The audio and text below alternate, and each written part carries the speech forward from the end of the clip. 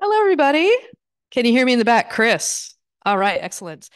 Hi, welcome to Community Conversations. Uh, my name is Courtney Shaw, and I'm the facilitator of the series, which basically means I welcome in the guests and introduce them, but I'm not like teaching the show. That's that's for other people to do here. Um, but I wanted to let you know that we do have events for the next eight weeks here. So in on the back side tables, we have the schedule. So if you want to know what other events we have, those are on the schedule there. Uh, the flyer also has the web address for our website, which has the full schedule, as well as little blurbs about the various talks, and the link for the website that has the Zoom um, uh, the Zoom links as well. So if there's some time that you want to hear the talk, but you don't necessarily want to come to campus, that's the option for you. We also record all the events and put them up on the YouTube, the LCC YouTube channel. So you can always get these later. If you hear brilliant things today, which you will, uh, and you want to share them with a friend, point them in the direction of the YouTube channel once that's up. Uh, and usually in a few days that gets up. If you're here for Humanities 106, uh, you will be watching this and then writing a paper on it, one page paper due on Tuesdays. See me if you have any questions on that. And now I would like to introduce today's speaker. And I always love when I get to welcome a new person into the community conversations fold. So Adrienne Godschalx got her PhD at Portland State University. She teaches microbiology here at LCC and is perpetually curious about what is meant to be alive which led her to her current role investigating the tiniest living beings. Adrienne enjoys gardening, watercolor, and goes to hip hop class every Friday. Please welcome Adrienne Godschalx.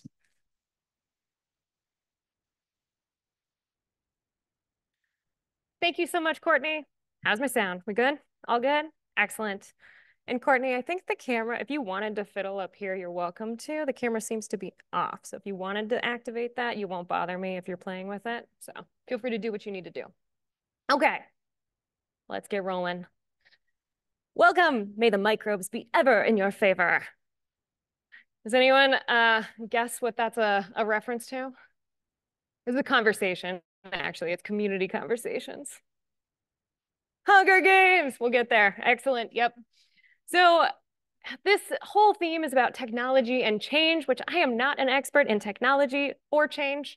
Um, my therapist and I are working on that. But the um, I'm also not an expert in microbiology or agriculture or really a lot of things, but I'm a very curious human, human that has gone from a lot of different areas. So I started out and if I'd followed my high school career path, I would want I would probably be an environmental lawyer fighting to save all the old trees and law turned out to be harder for me than I wanted it to be. Um, and then if I'd followed my college self, I probably would be uh, seasonally employed at an outdoor school and a summer camp for most of the year. And if I'd followed my grad school dreams, I would be a professor at a major research university with a lab that was studying plant physiology and the stomatal opening, closing, and whether the amount of nitrogen in that tissue is affecting that. And I'm really grateful that none of that happened because I get to be here with you and I get to think about a lot of really cool things. So what I'm about to talk to you about is an amalgamation of the ideas that have been really exciting me over the last few years and have given me hope. So we're gonna go through a lot of not hope in order to get to the hope. So bear with me. Is this a clicker? Does this work? No? Mouse. Mouse, yeah.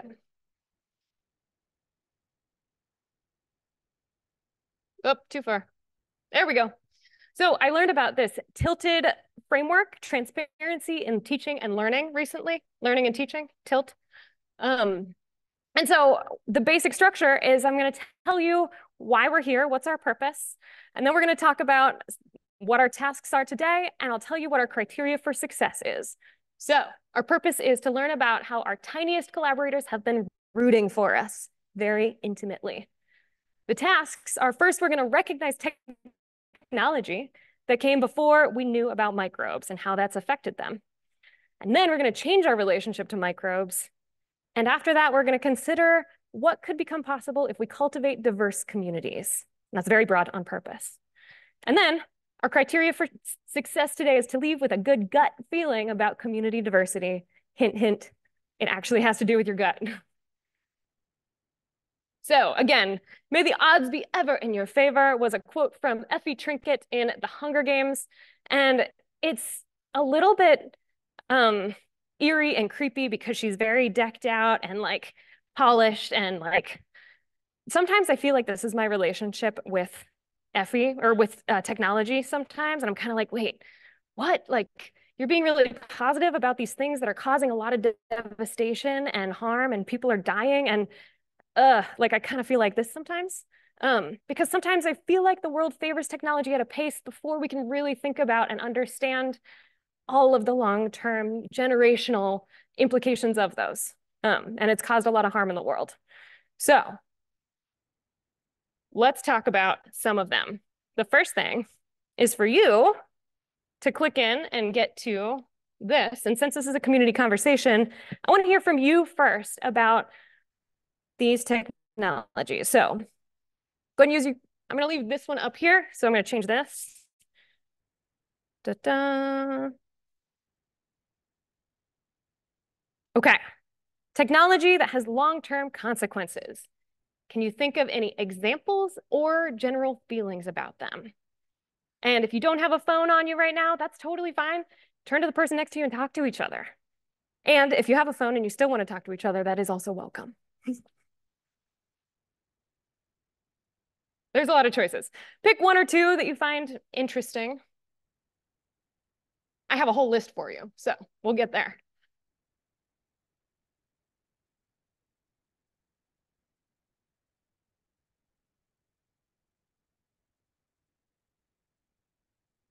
Say that one again. Yes, answer this question or any feelings like sad, anger, excitement, whatever you have to say. It can be simple. You also will have the option to enter multiple. So you can enter one, hit enter, hit another one, enter. And this will be active and live. AI, yes. Interesting. Big one.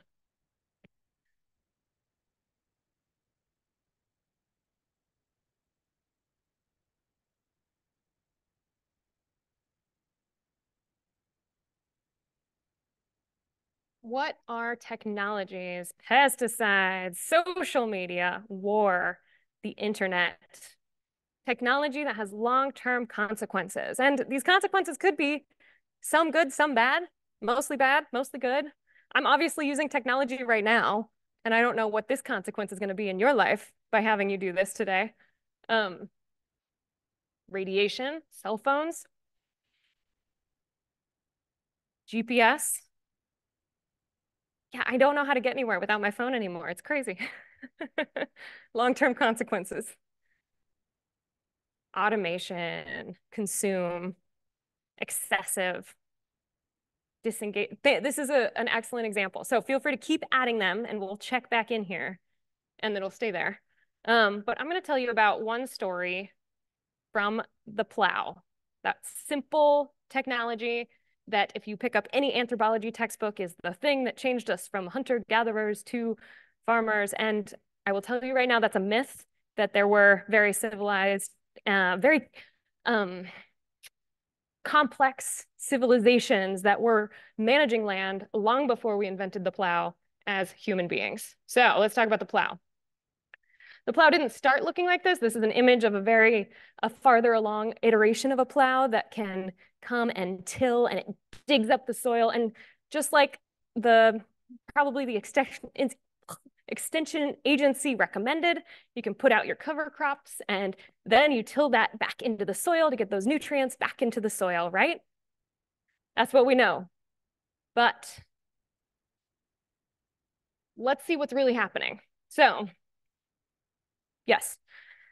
If we zoom really in into a teeny tiny spot in that soil, essentially what we're seeing is that every little micro pocket of a soil that had an intact root system was established by all of these different organisms. And I, I like to think about soil pores and soil structure kind of like our structures, right?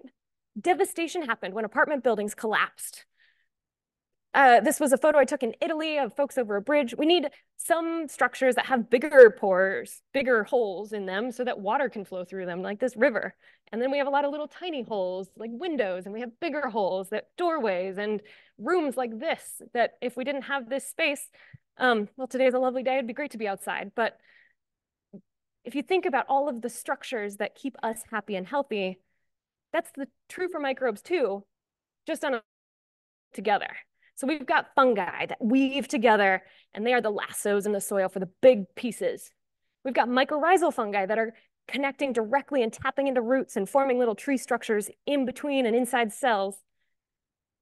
And we have bacteria that are um, on a micro scale doing the same thing. We've got filamentous actinobacteria and mycetes, and we have um, all kinds of bacteria that are all exuding their capsules to to stick and stay to something and forming those biofilms that we're learning about in, this week in micro class um, that allow them to stay and not get washed away in a heavy rainstorm. And so those glues allow other particles to stick and create this in interesting habitat. So when we're, so think of this image for the next few slides when we talk about what the plow did. So these, these are all things we didn't know about or the folks, I, I assume the folks, I'm gonna assume the best, the folks who designed the plow did not know about this, that coming through and total like upending and, and bulldozing this would allow only the bacteria to survive. And when we allow only bacteria to survive without predators, that's like having only deer or moose in a in a grassy habitat without any wolves to keep those populations in check. And what happens is that all of that nicely tilled in green material that was adding nutrients back to the soil, it it's food that they're like, yes. So they go to town and they multiply, they go crazy. And all of their um, bacteria are made up a little bit different than we are. They are, we're about 30 to 1 carbons for every nitrogen, and bacteria are a lot more juicy. They're a lot more nitrogen rich. They only have five carbons for every one nitrogen, which means they have a lot more nitrogen in their bodies. So they spit out a lot of carbon. They don't need as much CO2. So they're taking in all that grass material that just got mixed in and they're exhaling. They're exhaling CO2 into our atmosphere every time we till. Has anyone heard of carbon dioxide and something called climate change? uh-huh, uh-huh, great. Also, has anyone heard of nitrous oxide or N2O that has um, also devastating effects that can combine with in the atmosphere and become uh, ground level ozone and cause crazy health problems. Um, atmospheric chemistry, also not my specialty, but I do know a few things and I know that that's bad. So um, I'm gonna briefly show you, let's not have you talk. So this is a video I saw in one of Ray Archuleta. He's a proponent of regenerative agriculture. I'm going to speed this up a little bit. These are carbon dioxide patterns around the world. And right now, so this is the month. Right now we're in February. And you can see that there's a little bit more red. The more red into even white and purple is more and more carbon dioxide. So here we're getting more CO2, more CO2. And we're getting into April. And look, there's little pulses of green. So interestingly, what happens right before crops are growing when we get this really intense dark red is farmers preparing their fields. So one proposal that Ray makes is that the CO2 emission is following the seasonal conventional tilling globally. So then we're into summer, now we're in July. So we we're sucking in that CO. Plants are the best carbon sequesters that then are going to give it to the microbes who are going to hold on to it for a good long time. So if you want to invent a technology that's going to sequester carbon, like some oil companies are doing and spending a lot of money and, and like building these big fancy things, plant a tree. These and make sure that tree has access to good soil microbes. Okay. And then of course, we also see these white plumes coming out that are carbon monoxide from forest fires. So another complicated relationship that when we cut off the peoples that were managing the landscape who had relationships with fire to help make sure those were um, even and functioning, uh, those are now out of balance. Okay, so let's let's just get in there and imagine. So this is the goal. right? For a till the plow, this was the goal with that technology. I can totally see why no carbon is getting sequestered into that and why it's just breathing. It's, it's this soil is exhaling CO2. Not only that, it looks like a pretty hot place to be, looks pretty dry, and kind of a bummer. So the question, if you don't believe my um, my hypothesis here that CO2 emission is following these tilling seasons, uh, scientists have measured and calculated that if all of the, the world's agricultural fields were to be no-till, meaning just you don't dig them up and like we did, um, we would reduce the global warming potential. And they had two different metrics, but I just gave you one graph because I figured that would be impactful enough for today. But if this is your jam, let's talk more. So there's potential to slow down global warming just by not tilling, which is awesome. Also, it's not just CO2 in the air and heat. We also get, if with all that loose dirt, you get any wind above a certain speed, we're getting more and more dust storms around the world, which are just devastating. People die in dust car wrecks. And not only that, the dust is landing somewhere, and often it lands on the snow melt. When it lands on the snow, something that's white is not going to absorb as much heat as something that is darker than white, which it heats up. And then what do you think happens to that snow when it heats up? Tell me louder. It melts and it's gonna melt quickly. So what do we get when we get a lot of water? Flooding, ding, ding. Man, y'all are so smart. This is great. So then we have our water balance, our water cycle out of balance because there's no, uh, the plants that were normally gonna slow down this whole process are out of the picture. So we get drought and flooding. Both are symptoms of the same problem. So not only is it just the issue that there's too much water and not enough water in some places on Earth, but we also get increased fire intensity, which has a lot to do with how the fire is being managed in different landscapes. We get erosion, we're losing all of our soil. Um, the, there's projections about losing our topsoil in the next 60 harvests or something. Um, plus this water looks gross to drink. And at the same time, we get less food production and we have starvation in the world. It's just a big bummer right? And all of this is from the plow. One technology with long-term consequences that we couldn't have predicted. So really, just that one technology was really got us into this dysbiosis. Any healthcare track folks? I know we do. Whoop, whoop. Uh, dysbiosis is where is that term for when your gut is like out of balance, that there's something going on. So I haven't even begun to talk about the poisons we put down, but basically what happens next is the plants that are, are dying and not thriving like they used to be are those are the food sources for fungi that are supposed to break them down. Those are the food sources for insects that are like, ooh, this plant's on its way out. I'm going to eat it.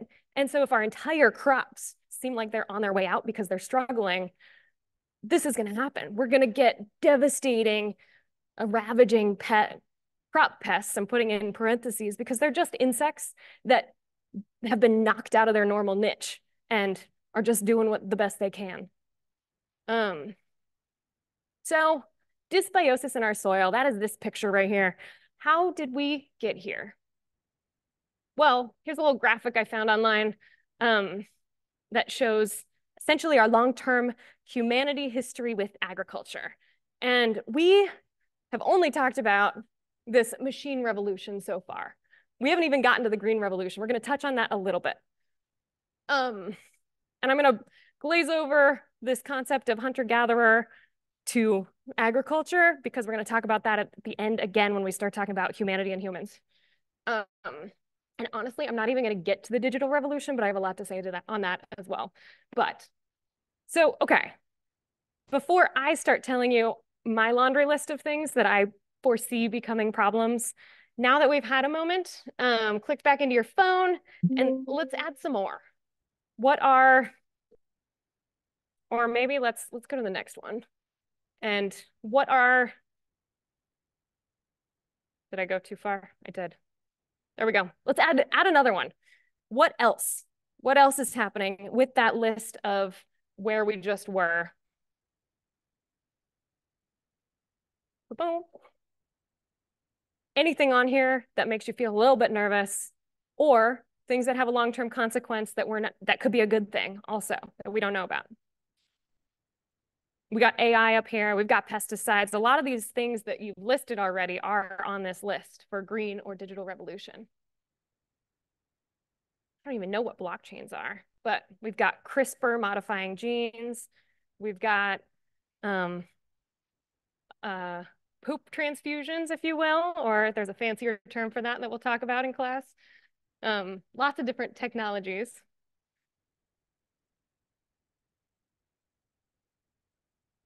Toxic groundwater, agribusiness, climate change, cell phones, dread. Yeah, totally. There's a lot of dread. Basically, we are still not done. There's more. So my list also includes machines. Once we got to a certain level and we killed the life there, we started digging deeper. So then even digger, bigger, deeper plows. Um, herbicides that then as soon as a tiny weed pops up, we want it to look perfectly clean. So let's repurpose war chemicals and poisons and make those um, so that they can kill plants. Fungicides and insecticides. I have an entire different talk that's going to be about that. Um, so that's not today, but they dislodge those organisms out of their normal habitats and give them a whole lot of food without any predators. Uh, drones replacing farmers to spray those poisons. Now I'm all about using targeted approaches. If you have to have to use a poison, I'd rather you just get a little bit on it instead of spraying the entire field. That'd be great. But I also want farmers to keep their jobs and more people to get that relationship with the land genetic modification to grow crops that can stand these conditions better. Instead of taking care of the land and managing it differently, we're trying to breed crops that can withstand the conditions we've created with our technology already.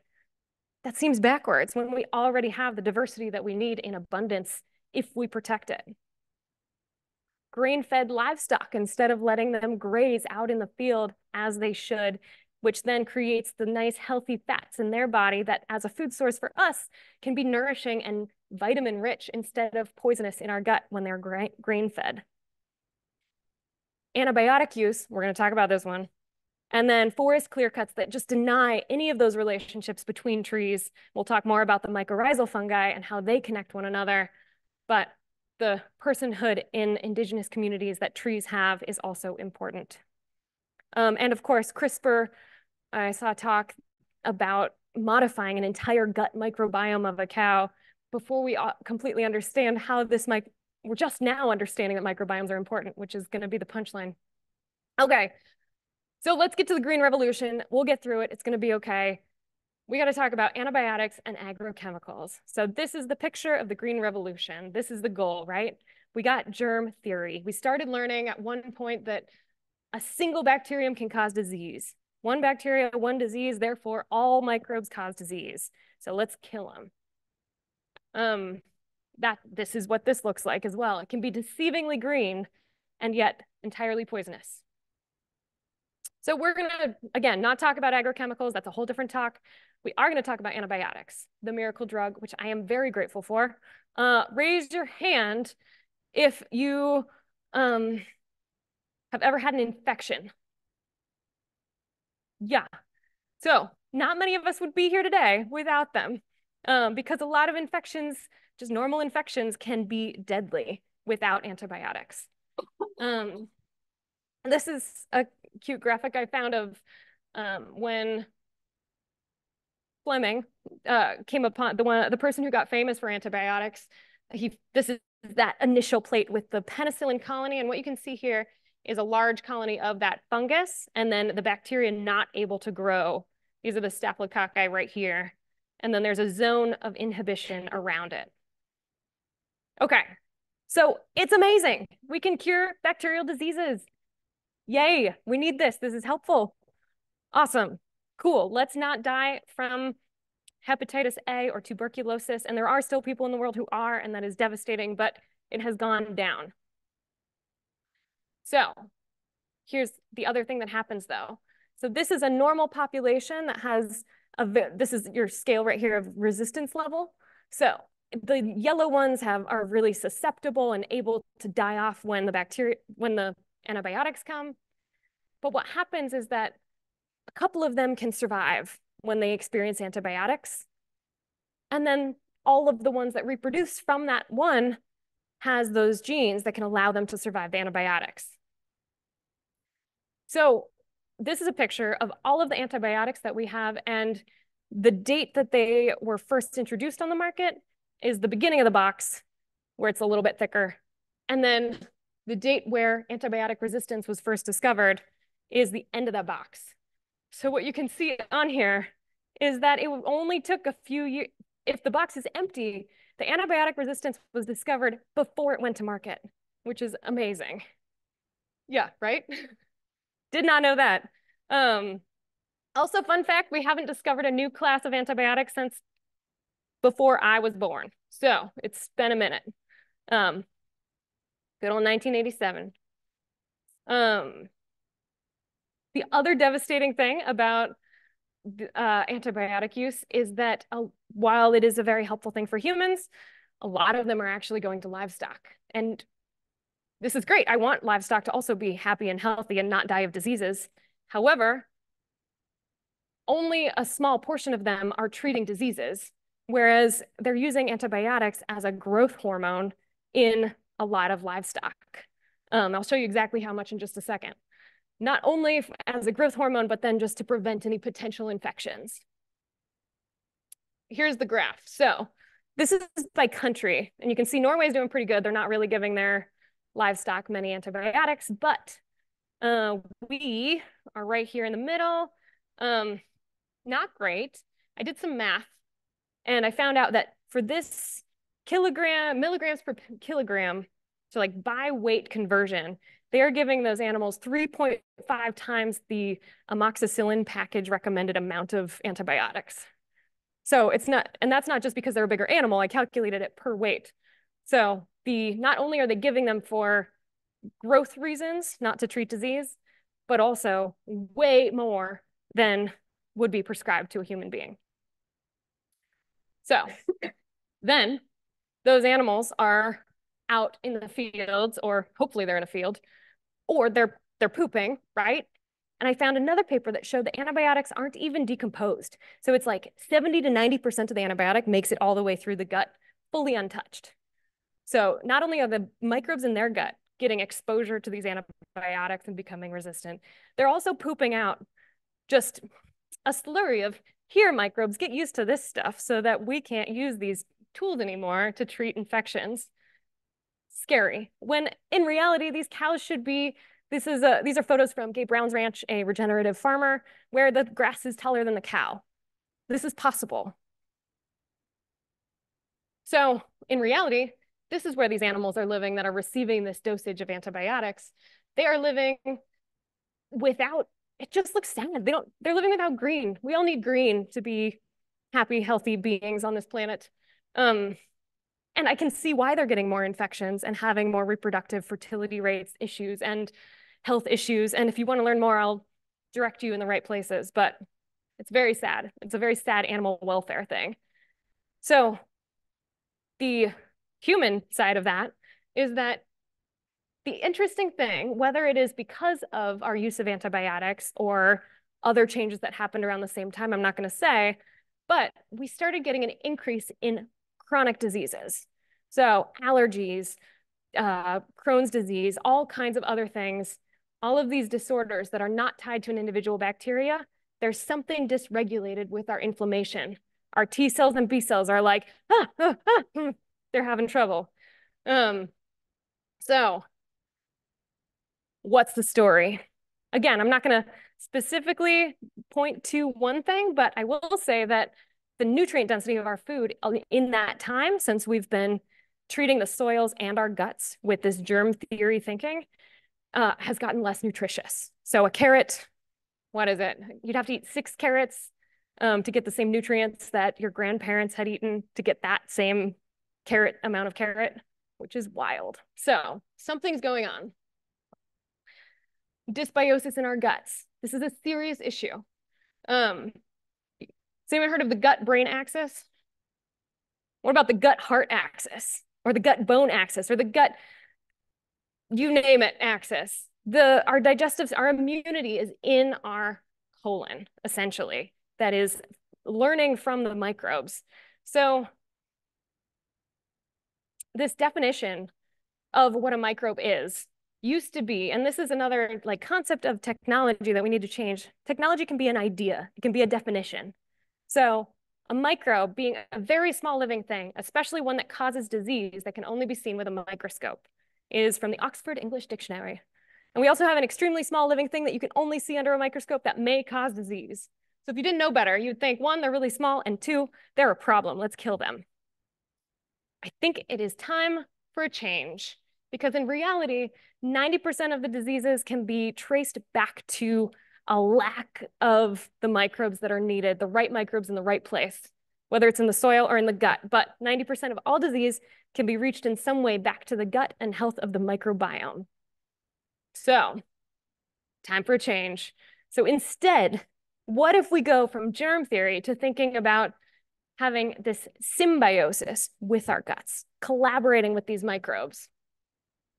Uh, this is a great image by Martin. Oh, I'm not going to say that, but a great image um, that just that shows the complex. This is a real image of a colon that shows micro the biodiversity of bacteria in a colon sample. So that's pretty cool. Let's form symbiosis with our guts. And not only that, not only do we have to change our thinking about microbes, but we also have to change our microbiomes as we age if we want to live longer and stay healthier. Because a human being has to have a different microbiome as a baby to into adulthood and into aging in order to age well, which is kind of cool to think. But how do we do this? What do we do? So the question I'm going to pose for the rest of this time is what could become possible if we cultivate diverse communities? And let me get it going for you. I would love to know what you think before I tell you what I think. In that way, we can have a conversation. What could become possible if we cultivate diverse communities? And then we'll talk about how. Feel free to talk out loud too. It's not a quiet lecture.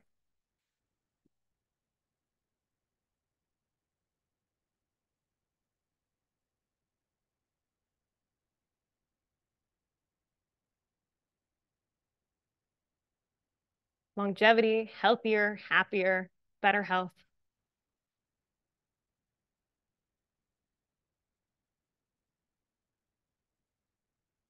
Less stress. Yes, please. More connection.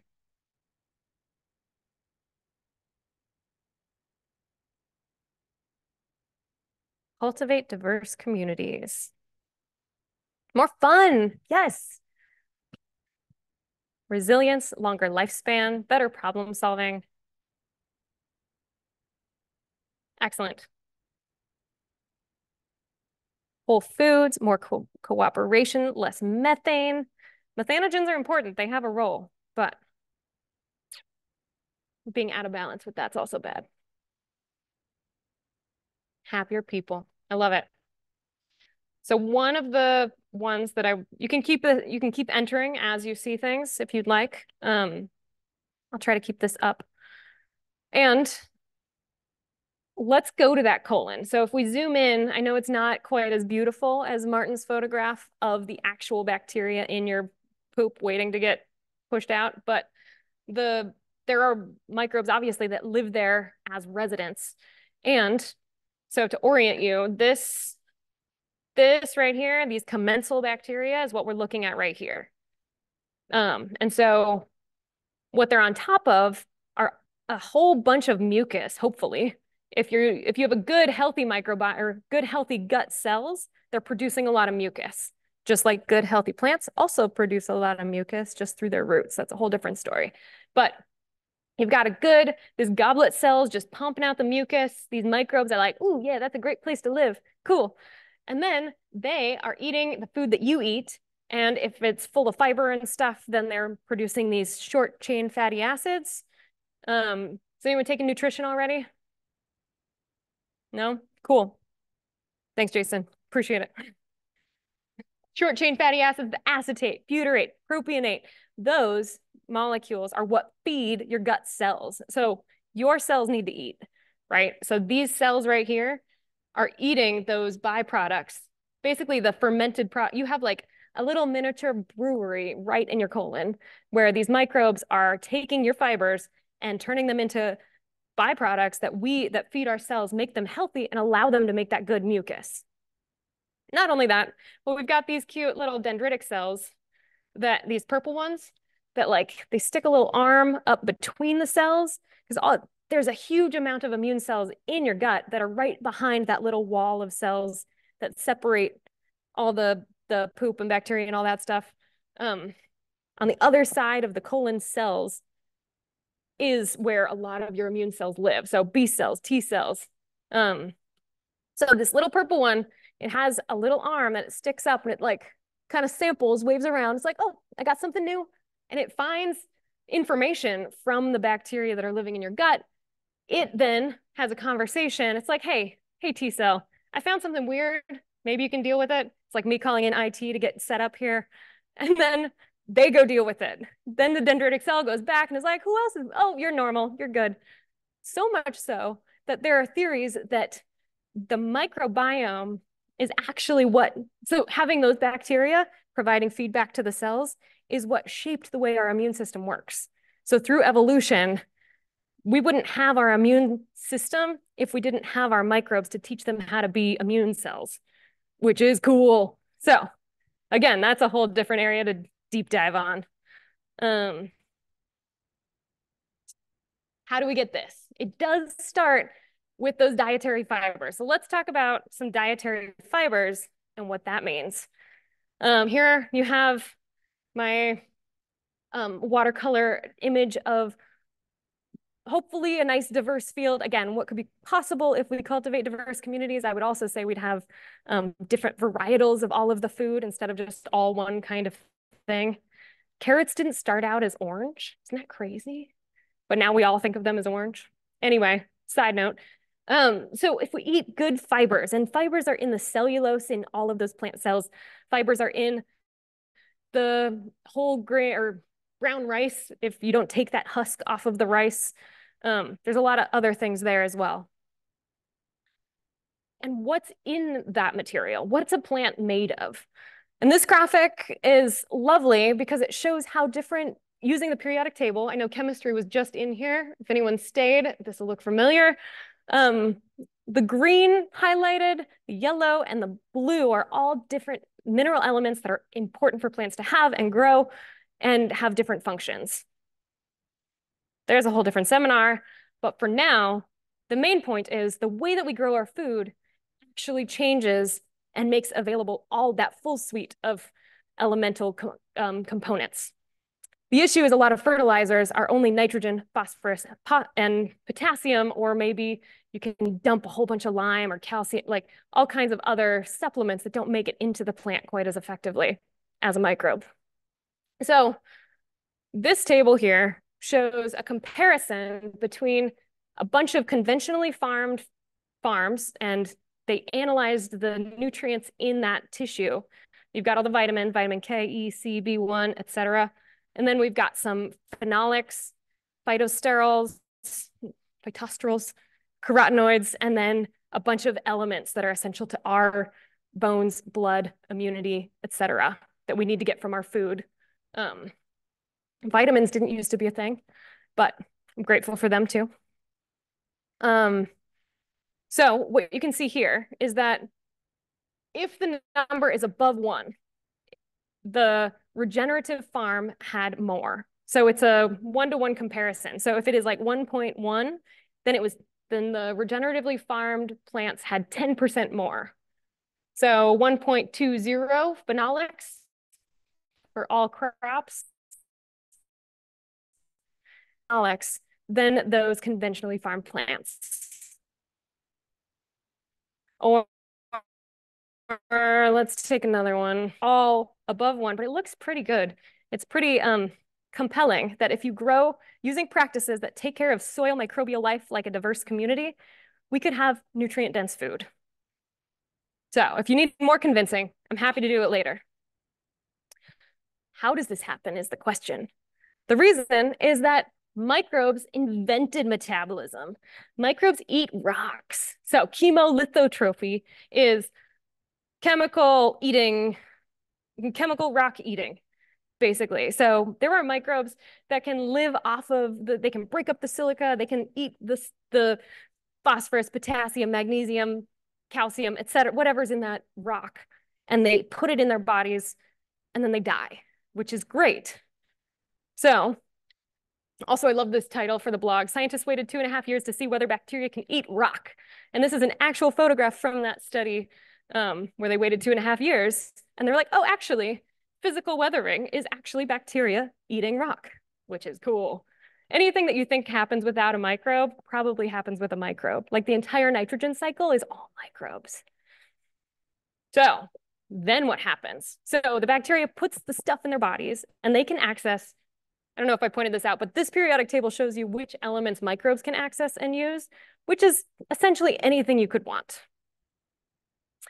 And then those bodies being full of magnesium, calcium, potassium, whatever your plant wants, is they get gobbled up. This is a GIF, or some may say GIF, of an amoeba that is like just taking in bacteria and consuming them. I believe it is a time lapse, but still awesome. An amoeba is our is a single-celled eukaryote, but um, one of our more closely related microbes to us than they are to bacteria. So that's cool. When protozoa were included in this one study um, by Mary Ann Clarholm, nitrogen was taken up by the plants and increased by 75%. So just the presence of these predators in the system. It's just like moose and wolves, right? If you have predators in a system, nutrients cycle differently. So amoeba equals predator. Remember, bacteria are made not only of nitrogen, but they're also made of calcium, phosphorus, potassium. That whole periodic table that I showed you a moment ago is what is in all of those little black dots that this amoeba is taking in. So now they are just a nutrient bag, basically, with covered by a membrane. Um, there you go. There's that periodic table.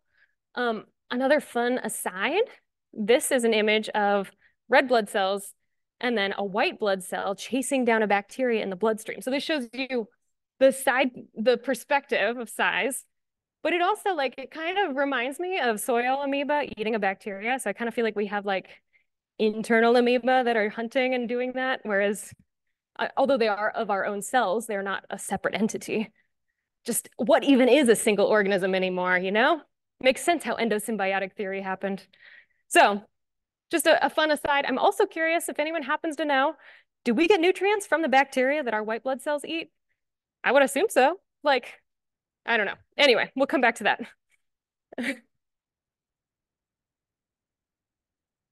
I think this is a time lapse, but yeah, there's there's all kinds of chemical interactions going on, right? I'm sure if that bacterium has, they must have some kind of flagella or some way to like, oh no, right? and if you're a white blood cell, you probably smell different than a red blood cell to that bacteria. Um, yeah, the whole world is a chemical world. We're just terrible at sensing it. Everything else is like this, right? okay, but we're gonna go back to the soil for just a moment and spend less time in our bloodstream because how do we get okay, great. We've got a bag covered in a membrane full of nutrients that is an amoeba. Then we have other, well, and before that, we also have many other predators. So a good, what could become possible if we cultivate diverse communities, we also then have resilience in a system. Because if for some reason all of the nutrients die, then we have nematodes who can eat those bacteria and just gobble them up with their little nematode muscles. And then we have flagella or flagellates that have um, their little flagella here on the side. We have ciliates that are just swimming around gobbling up tons of bacteria. There are more protists on this world than most of us who were trained in classical biology ever realized. And then there's a predator for the predator, which gets even more fun. So this is a nematode being consumed by another nematode, which is awesome and kind of weird. Um, and then here's an amoeba that's consuming a couple ciliates. Uh, this one is an amoeba that's consuming a an algal cell. So this is basically an herbivore. So that's a little bit different, but just wanted to show different kinds of interactions. And then this one is wild. This is a nematode who like smelled prey, but was tricked by a fungus. And that fungus had like an inner tube, basically, that the nematode swam through. And then as soon as it did, it triggered the cells to inflate. And then it trapped them and is chemically drilling into that nematode's cuticle where it will eat it from the inside out and fill it with a whole bunch of spores and then burst out and do it again. Which is great if you're a farmer and you have a problem with nematodes on your roots. You want these fungi there, right? Which is the next concept of biocontrol, but I'm not there yet. So then we have this amoeba that has a shell. It's called a testate amoeba, and it is eating a nematode by either grabbing the tail. They can also pack hunt. They can gather around and pack hunt nematodes. There are so many cool biological interactions on the microbe, the, the world. So I guess I didn't add this, but right now I'm feeling a whole lot of wonder is possible if we cultivate diverse communities. Because here's that biocontrol concept. If you're a farmer and you have a nematode problem, you want that fungi. If you have a caterpillar problem, well, you want a lot of different things. This is actually an endospore, whoop, whoop, uh, an endospore that has a toxin in it from a bacillus species, Bacillus thuringiensis, BT, if you will, um, that can explode a cat caterpillar's gut because of the way it interacts. Um, has anyone heard of BT corn? A little bit. So BT corn is um, where they took that gene and put it into the plant cells so that all of the plant cells from the corn plant, then if they interact with a caterpillar, will burst that caterpillar's gut. Cool idea, right? Technology. But the unforeseen consequence is that then the pollen that gets dispersed and a and a endangered monarch butterfly consumes it. Like it's a another one of those unforeseen consequences um, that has run away from us in a wild way. I'm not in implicating any company except for Monsanto. I don't have tenure yet. My bad. um, there's also entomopathogenic fungi, which is crazy. Any Last of Us fans? There's a TV show called The Last of Us. Thank you. Yes. Um, this is the concept, right? So a fungus, a spore gets inside, and then they're like, oh, this is a good food. They burst out and turn turn all of your pests into fuzzy little teddy bears, which is really cute. Um, I'm also going to avoid saying the word pest because I don't believe that anyone is a pest on this earth or anyone is a pathogen because in reality, you could use these like a pesticide. You could take these spores and go and put them out there, and that'd be way better than a toxin. I am all for that. Yes, please. Or we could just have management practices that support the diversity so that these, these elements are naturally in the soil. So this uh, called managing land in a way that suppresses these pests and diseases and allow them to do their normal ecological job where it's supposed to be. Okay. Wow. Then if we're talking getting bigger and bigger, those were microbes eating insects. Insects also eat insects. And here's a cool one that I studied. This was from the end of my PhD. And, oh, gotcha. Uh, this is a parasitoid wasp uh, that was inside of this aphid and then burst out. Uh, we there are also parasitoid wasps. There's a wasp for everything, really. Here's one that um, lays its eggs on the caterpillar and then turns that caterpillar into a caterpillar skin rug. Okay, we have about one minute, so I'm going to cruise through a few very complicated topics, um, but we can talk about it in a minute if need be. If you do need to go, I respect that. So then we keep getting bigger and bigger predators all the way up so that we get fish and birds and salamanders and lacewings and praying mantises and dragonflies. And what's why does that matter? Uh, a friend of mine recently said, it feels quietly subversive to be so continuously in love with the world. So I want to, one, just put out their inherent value, which I love that. Um, and also there are so many like practical ecological values, but we care about bears because we care about bears. That's awesome. They belong to be here. Um, so life begets life. And this is where we're going to start to step even way back what could become possible if we cultivate diverse communities? Uh, this woman, Dr. Suzanne Simard, discover this is a an image from her book Finding the Mother Tree, which I recommend.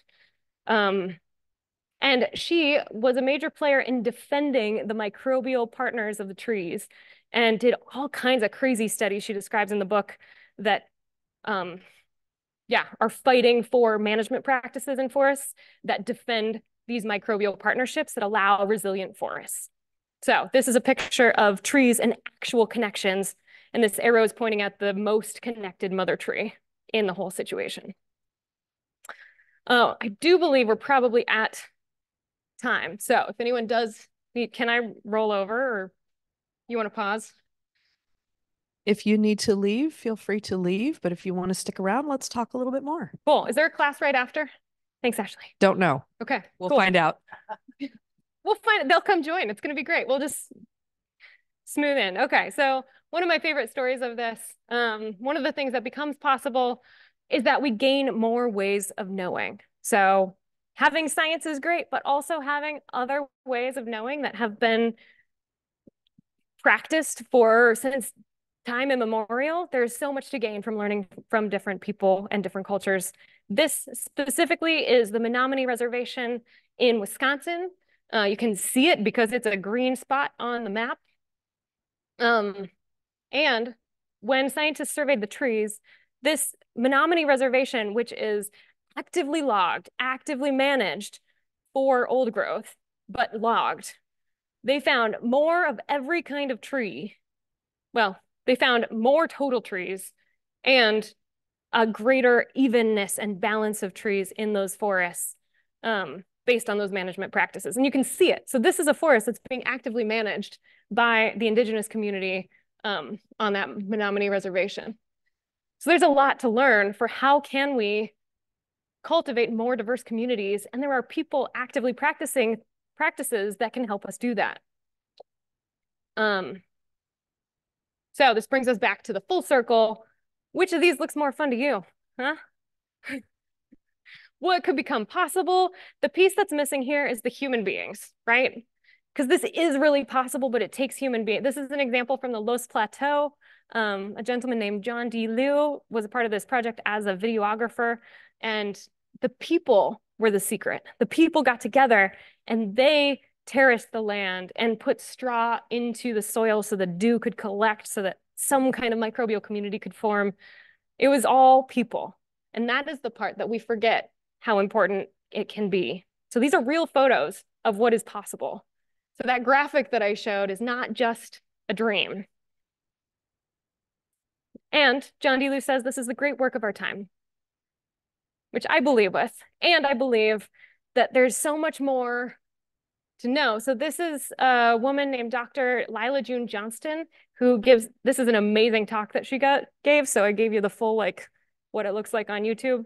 Um, and this right here, as a trained classical ecologist, this totally blew my mind because here, uh, Dr. Johnston's pointing out that it's not just, it, the biodiversity that we know in the Amazon is not an accident, that this has been cultivated by generate thousands and thousands of years worth of land management practices that were long-term thinking, that planned for the, the biodiversity in the world that's there. So if you can see here, this the black dots are all of the area that was intensively composted in the soil.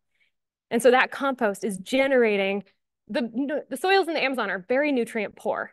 And so I remember taking a tropical ecology class in, in college and like, okay, that makes sense. They must grow sideways roots and get the nutrient. But no, it's not an accident um, that the Amazon is so diverse. It's because the human beings there, and there's so many different examples of areas that were cultivated. The, the people didn't chase the buffalo. The bison followed the fire that the humans were creating to grow nutrient dense grass.